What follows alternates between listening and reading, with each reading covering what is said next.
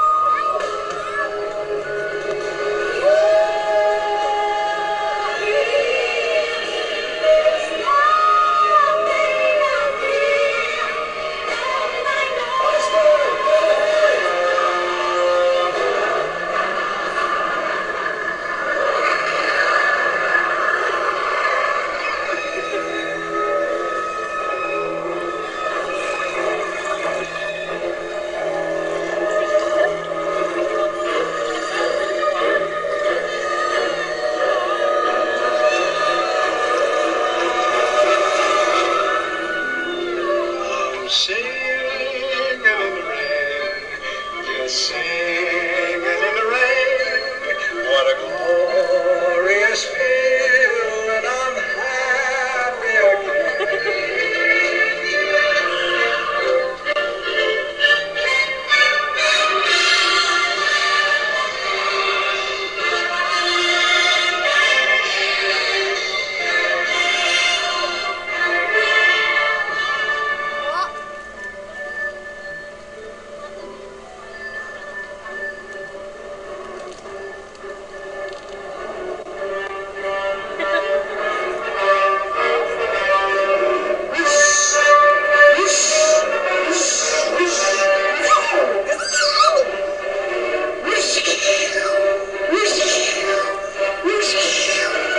Marjorie,